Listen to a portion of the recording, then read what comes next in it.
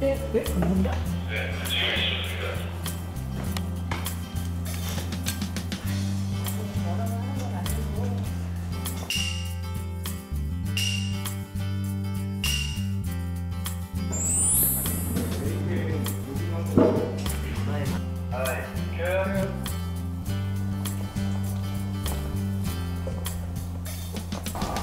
믿어. 진심으로. 얼른 정리하고. 에이.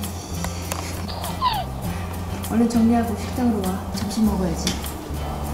얼른 와.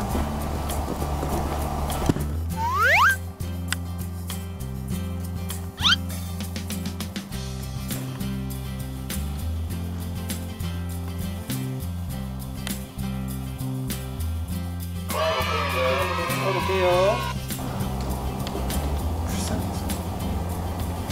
난 우리 강백이가 이렇게 꾸준하게 사회적 약자에 대해서 관심 갖는 거 너무 보기 좋아.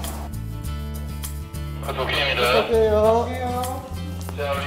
당신이 모르는 일 없지.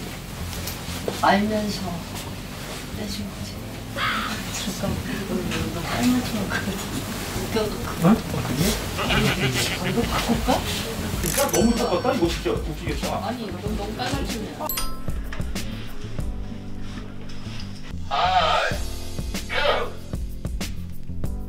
엄마, 무류리, 윤구령, 그리고 이하정까지 다 알아, 다.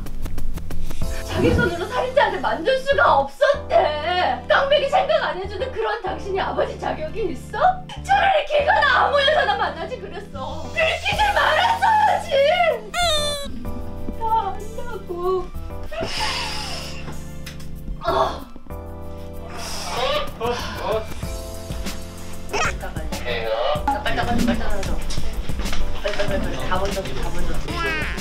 마지막으로 싹 왔다 또 저쪽에서 싹 왔다 싹 하고 있는데 그때 혜륜이 전화 올리고 하